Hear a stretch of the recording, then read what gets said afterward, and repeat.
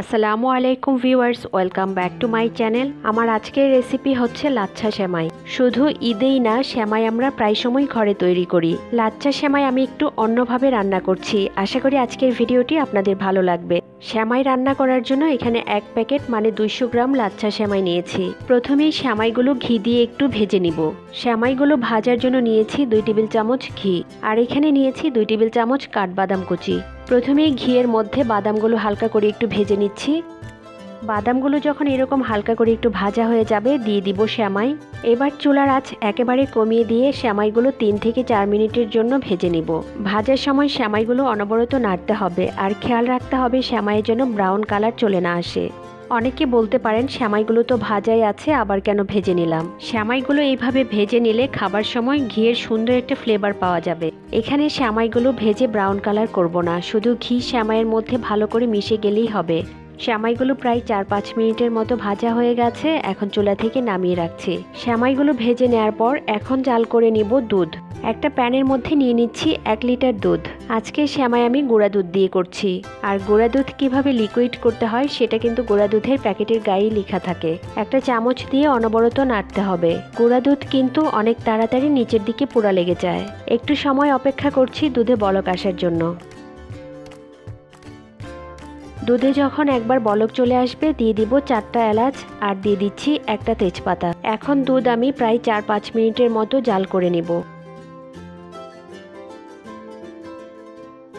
দুধ এখানে প্রায় চার পাঁচ মিনিটের মতো জাল করে নিয়েছি। এখন দিয়ে দিচ্ছি পনে এক কাপ চিনি। আর মিষ্টির পরিমাণ যে যতটুকু খেতে পছন্দ করেন সেভাবেই দিয়ে নেবেন। চিনি দিয়ে ভালো করে নেড়ে দিতে হবে। আমি আগেই বলেছি, গোড়া দুধ কিন্তু নিচের দিকে খুব তাড়াতাড়ি পুরা লেগে যায়। তাই চুলার কাছে দাঁড়িয়ে থেকেই দুধ জাল করে নিতে হবে। এখানে এক লিটার দুধ নিয়েছি মানে চার কাপ দুধ। দুধ জাল করে আমি প্রায় তিন কাপের মতো করে নিব।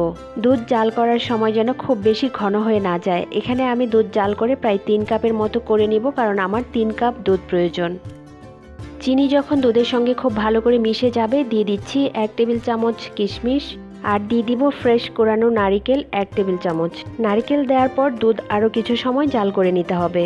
দুধ জাল করা হয়ে গেছে, এখন আমি তেজপাতাটা উঠিয়ে নিচ্ছি। জাল করার পর দুধ প্রায় তিন কাপের মতো হয়ে গেছে, এখন চুলা থেকে নামিয়ে একটু ঠান্ডা করে নিব। আবার ঠান্ডা মানে খুব বেশি ঠান্ডা করব না, যে গরম ভাবটা আছে সেটা চলে যাওয়া পর্যন্ত একটু অপেক্ষা করব। ভাজা শ্যামাইগুলো একটা কাচের বাটিতে নিয়ে নিয়েছি, এরকম কাচের বাটিতে নিলে দেখতে সুবিধা হবে। এখন শ্যামাইয়ের মধ্যে দুধ দিয়ে দিচ্ছি, প্রথমে সবটুকু দুধ দেবো না, অর্ধেকটুকু দিয়ে অপেক্ষা করব চার পাঁচ মিনিট। এভাবে একটা চামচ দিয়ে একটু সরিয়ে সরিয়ে দিচ্ছি যেন শ্যামাইগুলো খুব ভালো করে ভিজতে পারে। শ্যামাই দুধে ভিজানো থাকবে, কিন্তু শ্যামাই অতিরিক্ত দুধ থাকবে না মানে শ্যামাই শুকনা থাকবে। এখন বাকি যে দুধটুকু আছে, সবটুকু দুধ দিয়ে দিচ্ছি। আবারও শ্যামাইগুলো চামচ দিয়ে এইভাবে একটু সরিয়ে সরিয়ে দিচ্ছি যেন উপরের শ্যামাইগুলো ভালো করে ভিজতে পারে, উপরটা যেন ড্রাই না থাকে। শ্যামাই যখন আমি চার পাঁচ মিনিটের জন্য রেস্টে রেখে দিব, সেই সময় কিন্তু অবশ্যই ঢেকে রাখতে হবে। শ্যামাই ঢেকে না রাখলে উপরটা কিন্তু ড্রাই হয়ে যাবে। আরও প্রায় তিন চার মিনিট পর দুধ কিন্তু পুরোটাই শ্যামাই শুষে নিয়েছে। আমি বাটিটা কাত করে একটু দেখিয়ে দিচ্ছি, অতিরিক্ত দুধ কিন্তু শ্যামাইয়ের মধ্যে নেই। আর আমি কিন্তু এই রকমটাই চেয়েছি।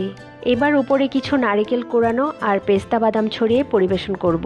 আমার কাছে এভাবে রান্না করলে সেমাইটা কিন্তু খেতে খুবই ভালো লাগে। আপনারা বাসায় একবার ট্রাই করে দেখবেন। আশা করি আপনাদেরও ভালো লাগবে। আমি একটা বাটিতে সার্ভ করে দিচ্ছি।